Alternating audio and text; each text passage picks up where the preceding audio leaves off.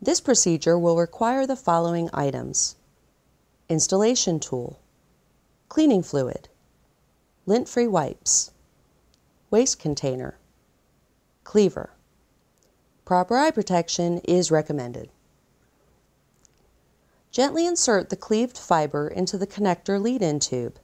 Apply slight pressure, pushing the fiber inward until a positive stop is reached.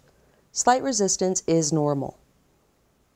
Apply inward pressure until a slight bow appears in the fiber. Do not release it. While maintaining inward pressure on the fiber, depress the blue button until a positive stop is reached. If the green light illuminates on the installation tool, insert the 3 cm piece of buffered tubing into the connector lead-in tube and move inward until positive stop is reached. Rotate the green crimp knob 180 degrees. Resistance is normal. If the red light illuminates on the installation tool, depress the red reset button until a positive stop is reached and complete the previous fiber insertion process again. Gently insert the cleaved fiber into the connector lead-in tube. Apply slight pressure, pushing the fiber inward until a positive stop is reached. Slight resistance is normal.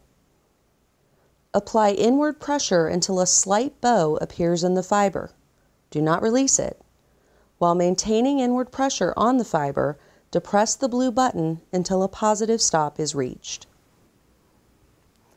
If the green light illuminates on the installation tool, insert the 3 cm piece of buffered tubing into the connector lead-in tube and move inward until positive stop is reached. Rotate the green crimp knob 180 degrees. Resistance is normal. Open the cover on the installation tool. Move the power switch to the off position. Raise the VFL coupler to the top of its travel path.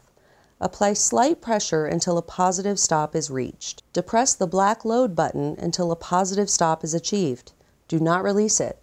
Gently lift the connector out of the installation tool, then release the black button.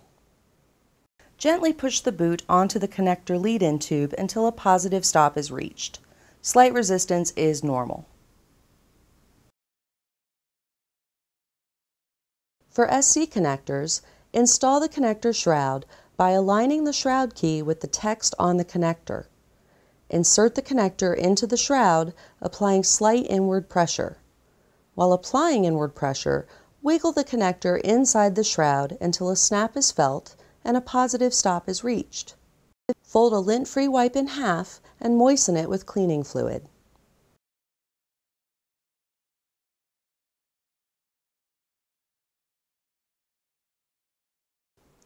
Clean the connector ferrule tip twice with the moistened wipe.